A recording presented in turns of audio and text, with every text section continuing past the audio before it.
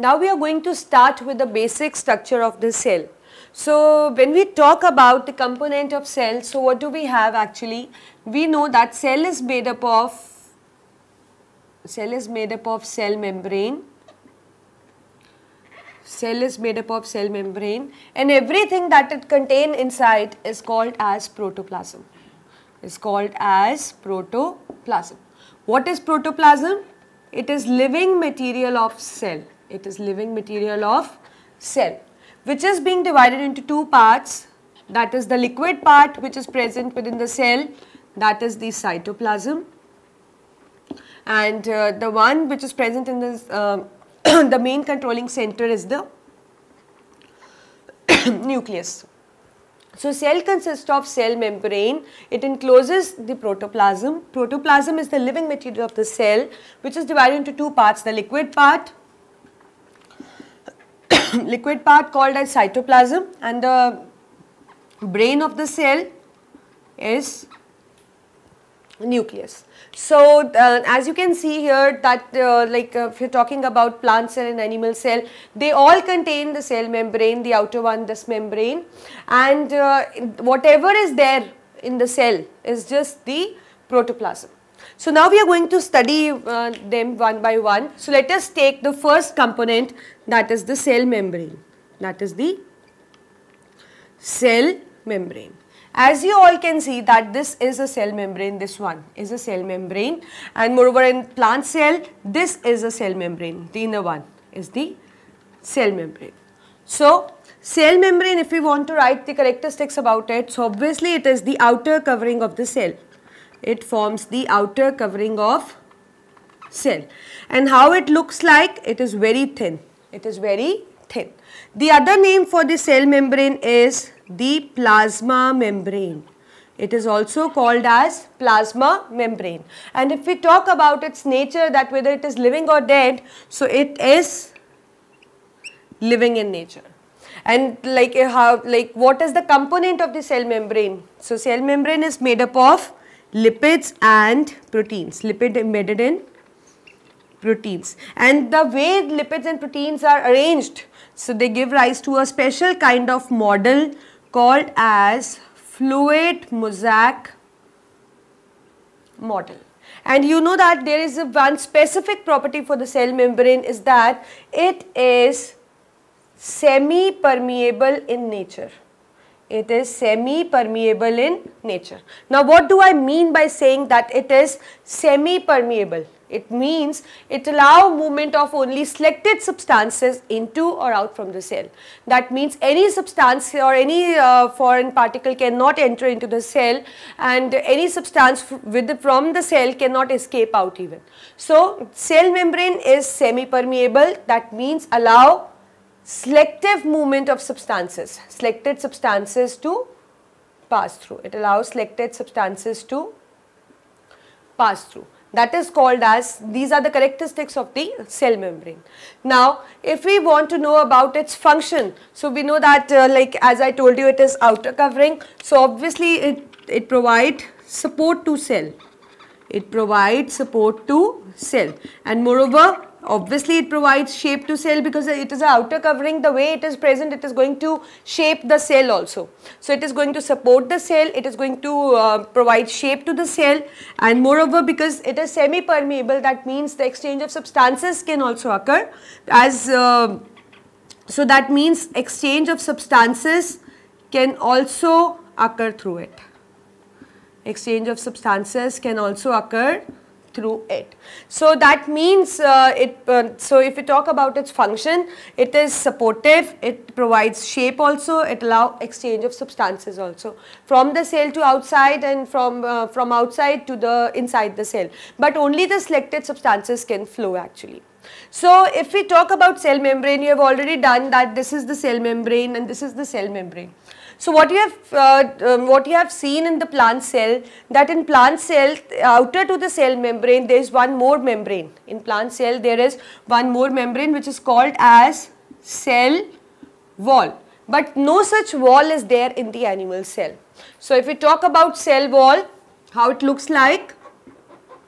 So first of all, it is the outer covering It is the outer covering of only plant cell as it is present in both plant and animal but it is present only in a plant cell. And if we talk about its nature, it is dead. It is made up of dead substance, so it is dead. Now, like uh, cell membrane is made up of lipid and proteins, but it is mostly made up of cellulose. It is uh, uh, mostly made up of cellulose. But in case of fungi, uh, there can be a possibility that cell wall is made up of some other component also. Like in fungi, it is made up of chitin, a very hard substance. It is made up of chitin. And uh, if we talk about uh, its uh, like whether it is thin or thick, so compared to cell membrane, it is thick. It is thick. And moreover, it, it also allow these substances to pass through, but it is actually freely permeable. It is actually freely permeable. Freely permeable means like uh, cell membrane allow only selected substances to pass through but cell wall allow any substance to uh, pass in or pass out from it. So that means it is freely permeable to substances. And uh, if you talk about the functions, again it is performing the same function that it is also providing the support to the shell, cell, it is providing shape to the cell and it is allowing the exchange of substances. So this is very important that as I have told you that it, uh, the cell membrane is present in both but cell wall is present only in a plant cell. As you can see here, this is the cell wall, this one and uh, it, it is lacking such wall right. But cell membrane, this one, the inner one is present in both. So this is what about the cell membrane. So you uh, like now you are familiar that uh, in plant cell we also have a membrane outer to cell membrane which is called as cell wall. And moreover the other name for the cell membrane is the plasma membrane. Please make yourself familiar with both the names because you can get the question in either form.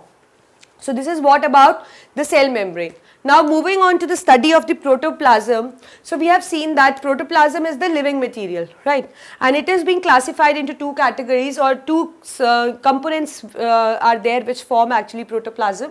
The liquid one is the cytoplasm. The whole liquid which is present within the cell is cytoplasm like here also. Everything, the liquid material which is present is called as cytoplasm. This is all is the fluid is called as cytoplasm. But now coming on to the nucleus which is called as brain of cell, let's take it in detail that what actually is nucleus. So what do we observe actually? I think you have written all, all those things, all these things you have summed up in your copy. So I'm just rubbing it out. Now coming on to the nucleus, what we see actually, nucleus is formed of many parts. I told you that this is nucleus. So the outer membrane of this nucleus is called as nuclear membrane. So the first very component is nuclear membrane. The second thing what we see is that there is a fluid again present in a nucleus also because it is the, it is the cytoplasm only of the cell but the cytoplasm which is enclosed in the nucleus has been allotted a special name that is called as nucleoplasm. So it is nucleoplasm. The third thing we have a small body present here called as nucleolus and the leftover thing we have here is the thread like structure that is the nuclear material. This is what is the component of the nucleus. So let us study them in detail that what actually they are uh, meant for. So nuclear membrane as you have seen this is the outer covering of the nucleus. So it is outer covering of nucleus. Now if we talk about its permeability that whether it is uh, uh, semi-permeable or freely permeable, so obviously it encloses the nuclear material. So it has to be selective per, uh, permeable because uh, it's not like that that any foreign particle which enters into the cell may get into the nucleus and may destroy the nuclear material. And nuclear material you know that it is the main uh, treasure of the cell. So that due to this reason, reason only nuclear membrane is semi-permeable. It is semi-permeable that is allow only selected substances to pass through whether uh, from out to in or from in to out. So this is the nuclear membrane. So and what is its function? Obviously it encloses all the components which is present in the nucleus. Nucleoplasm, as I told you, it is the fluid, fluid that is cytoplasm which is present in the nucleus. Coming to nucleolus, this round body, this one. So nucleolus is a small round body present in the nucleus. It is made, uh, mainly made up of genetic material that is RNA. And you know that it is actually a factory of it is actually a factory of ribosomes. It helps in the synthesis of an organelle. We'll do it later on that what actually is the organelles. So nucleolus is actually a factory of ribosomes because it is producing ribosomes for the um, cell and moreover ribosomes again they are factory of proteins because they produce proteins for the cell. So as far as now nucleolus is concerned, so you just need to know that nucleolus is a small round body having its own genetic material that is RNA and uh, it is a factory of ribosome as it produced this organelle ribosome. So that is why it is called as factory of ribosome. The fourth component, the important component or you can say the treasure of the cell is the nuclear material. So what happened, this nuclear material like when you will analyze under microscope, so at different stages uh, they appear to be different. So like when we see they appear to be like this, a thread like structure, so that is why they are called as nuclear material or chromatin material. It is the thread like structure. This is called as chromatin material. But later in the, uh, stages of the cell division, they get condensed to form beautifully uh, arranged uh, chromosomes. Now they, when they appear like this, they are called as chromosomes. The center part by which they are held is called as centromere and these arms are called as chromatid. Is called as chromatid. Centromere is the center one and the arms are called as chromatid. Now you know that this chromosome actually is made up of proteins, our genetic material DNA and it also carries certain fragments which are responsible for imparting the characters to the person. That means it possesses genes. So what are genes? They are tiny fragments which are present on the chromosomes which are hereditary vehicles or you can say which are responsible for imparting a characters, uh, characters, characters in the uh, humans. So this is what is the genes. Now and our, what about our genetic material? It is DNA that is deoxy ribonucleic acid and RNA is ribonucleic acid the full form. So we have only two types of genetic material DNA or RNA. Some carries DNA, some carries RNA depend, depending upon species to species. So as far as our species is concerned, our genetic material is the main one is the DNA. But otherwise nucleolus is a, a small body which carries its own genetic material and that genetic material functions only for the nucleolus not for our own our whole body. Otherwise, if somebody asks you about your genetic material, it is DNA, that is deoxyribonucleic acid. And if we talk about chromosome, it is not like that only one chromosome is there. There are, uh, you can say that chromosomes occur in pairs actually.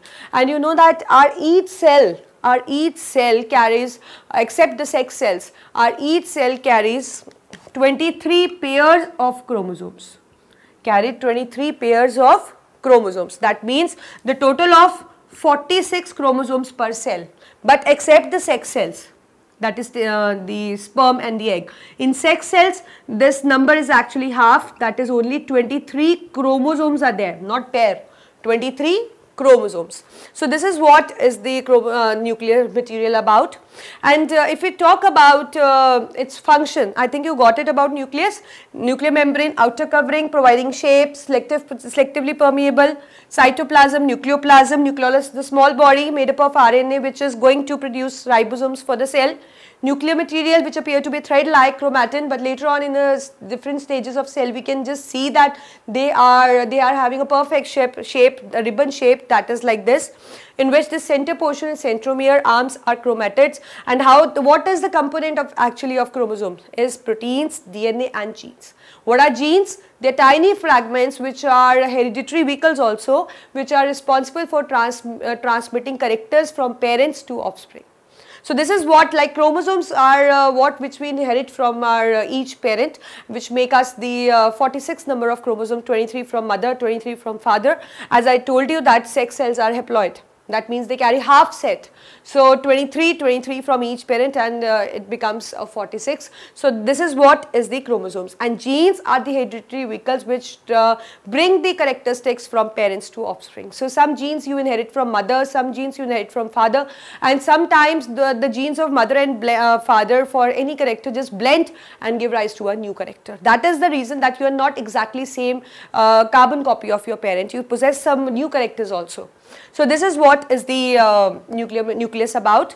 So if we uh, talk about its function, so obviously it is brain of the cell because it is the controlling center of the cell. It, as I told you, it is treasure of the cell. So that means it is a main controlling center of the cell, main brain because it is going to uh, look after about all the metabolic activities. And secondly, if we talk about as I told you, it possesses genes also. So genes are the hereditary vehicle. So again, it is a function of nucleus that genes uh, actually help in the transmission of characters from parents to offspring. And third, I told you that nucleolus is a factory of ribosomes. Uh, so again, this is a function for the uh, nucleus. So and uh, so this is all about the nucleus. Now moving on to the like as we have done with cell membrane, we have done with cell wall we have done with nuclear uh, nucleus also. So now we are going to start with the cytoplasm and we are going to see that what cytoplasm actually possess, right. So uh, like in a meanwhile just first try to learn these three things cell membrane, cell wall and nucleus then we will then just uh, learn them, write it and see that if you get it uh, completely and don't forget to practice this plant cell and animal cell because you may get a question related to it and if in case you need to show any kind of uh, cell so so it is better to show these kind of cells.